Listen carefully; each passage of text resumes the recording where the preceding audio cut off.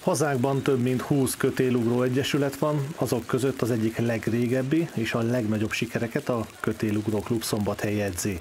Füle Magdolna és Bánhegyi Attila irányításával csak nem 30 éve dolgoznak a gyerekek, akik a folyamatos megújulás egyében több területen is kibontakoztak. Mára nem csak a hazai és nemzetközi versenyeken nyújtanak kiemelkedő teljesítményt, hanem saját színpadi produkcióval is előrukoltak, ami a karácsonyi időszak üde színfoltja volt. A munka azonban nem állt meg, és heti három csoportos tréninggel, valamint külön edzésekkel készülnek a kötélugrok a közelgő versenyidőszakra.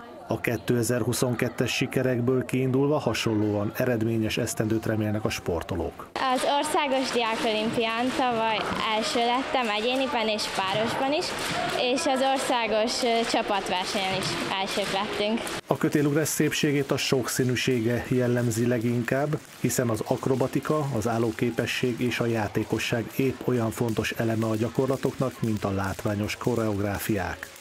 Talán ennek is köszönhető, hogy népszerűséget töretem a régiónkban. Azt szeretem benne, hogy sokféle,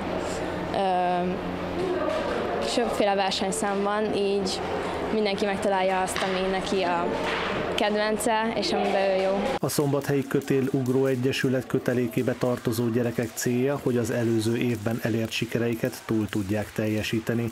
Ugyanakkor a hobbi csoport számára is kiváló mozgási lehetőséget biztosít a klub, hiszen családias közösségben hódolhatnak kedvtelésüknek.